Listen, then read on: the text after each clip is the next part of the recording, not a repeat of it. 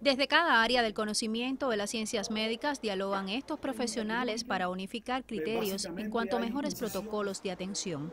a socializar experiencias sobre la especialidad, tanto en Cuba como en varias naciones del mundo, conllevó esta primera jornada virtual de oncología de Cienfuegos. Están las temáticas de cáncer de mama, cáncer cervicuterino, están las temáticas de los tumores de cabeza y cuello, los tumores de pulmón, las situaciones especiales. No quisimos menospreciar o dejar de mencionar a, los tumores en edades pediátricas, que también son, un tema importante a tocar en el plano de la, de la oncología y bueno, también están las, o sea, las situaciones especiales en oncología, son estos pacientes que tienen una calidad de vida deteriorada, cómo los manejamos desde el punto de vista eh, eh, de la atención primaria de salud, la atención secundaria, cómo llega ese paciente al médico de familia, a nosotros los médicos acá en esta atención y el objetivo final es mejorarle su calidad de vida, es mejorar al, paciente y también a su familiar. Desde el primero al 4 de junio, expertos de España, Brasil y Ecuador, junto a los profesionales cubanos, valoraron durante estas sesiones cómo lograr el enfoque multidisciplinario del paciente oncológico,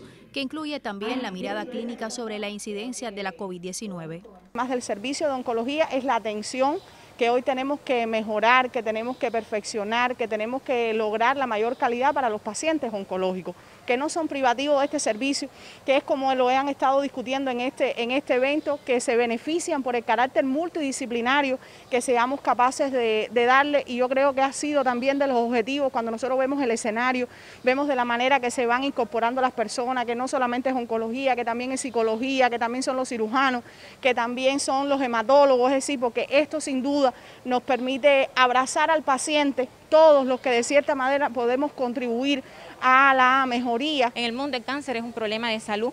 así como en Cuba, es la segunda causa de muerte en nuestra provincia con un incremento discreto de la mortalidad general, así como un incremento durante el año 2020 de la mortalidad prematura. De los aspectos que nos están faltando en función de medicamentos, en función de insumos,